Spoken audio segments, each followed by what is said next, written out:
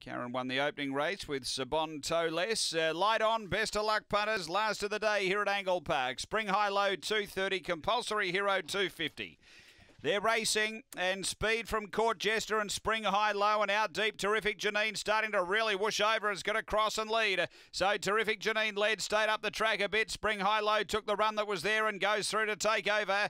Court Jester two lengths away. Then Scout Coaster from Chatting and Compulsory Hero off the back. Spring High Low a length and a half. Terrific Janine a similar margin. Scout Coaster. Then came Chatting up to the turn. Spring High Low led. Terrific Janine sticks on, but Spring High Low going well. Gives Nobes the bookend. Spring High Low first. Terrific Janine second.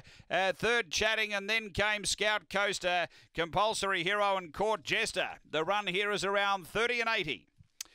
After the running of race number 10 and uh, Spring High Low. She was away okay, but really mustered nicely going to that first bend.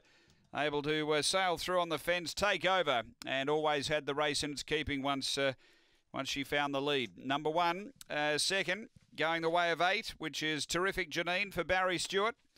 And third to five, chatting for Tony Nobes. It's 1857 after race 10 here at Angle Park.